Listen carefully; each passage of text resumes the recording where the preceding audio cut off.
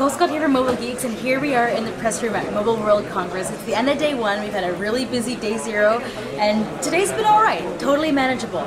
My favorite event of the day, so I'm going to take you through all the good ones. The best one had to be the Asus PadFone Infinity launch and the FonePad launch. I'm going to cut to some footage now because you have to see Johnny in action.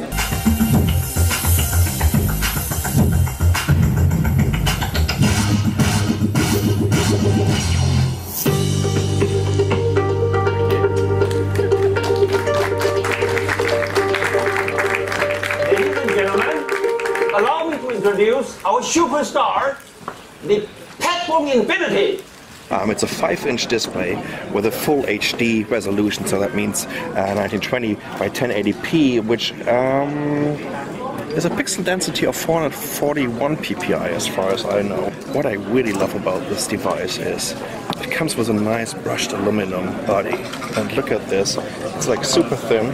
This is only like 8.9 millimeters, 141 grams. I'm at the Asus press conference in Barcelona right now, and they just introduced the new Asus FonePad. We've already seen a couple of leaks of this tablet, and it's yeah pretty interesting. Was just introduced. Introduced.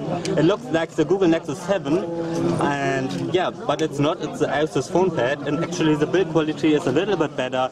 We have aluminium here on the back, not just plastic. You have to admit, the price on the FonePad is unbelievable. 249 It's going to be going global. It's like a souped up Nexus 7, but it's got 3G. Can't really complain. The other one that, I, that everyone should take note of was Nokia this morning. They had their mid-range Lumia releases. So there was the 520 and the 720. Why don't we cut to a little bit of that? Taking a look at the brand new Nokia Lumia 720. I think it's more like a middle class a smartphone running Windows Phone 8. Um, the device itself is just very light. It comes in this uh, nice Lumia uh, design uh, that we already know from the 820 or from the 920. Uh, it comes with a uh, 4.3 inch display.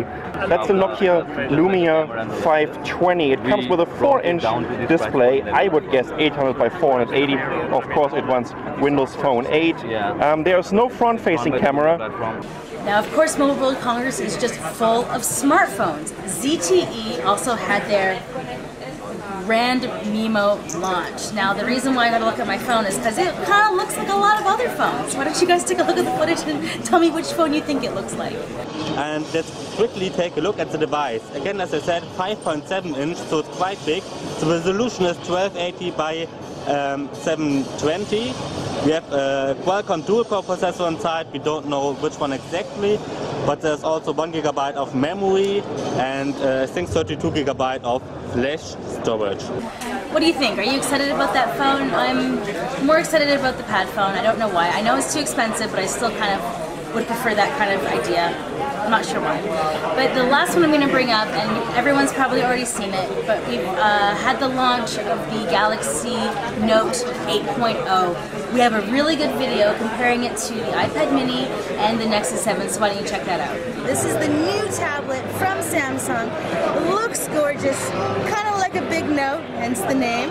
So to give you a quick rundown on the specs on this one, we have a 1.6 gigahertz A9 quad-core processor, and over here we would have a Tegra 3 processor on the Nexus 7 from Google, and then over here we have the iPad mini, which is on a dual-core processor, and Apple won't tell us anything else about it.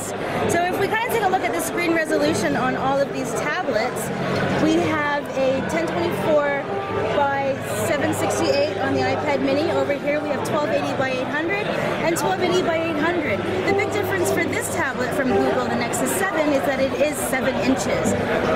Note 8.0, obviously 8, and the iPad mini, also 8 inches. Thanks so much for joining me. This has been the end of day one of Mobile World Congress 2013. I'm Nicole Scott.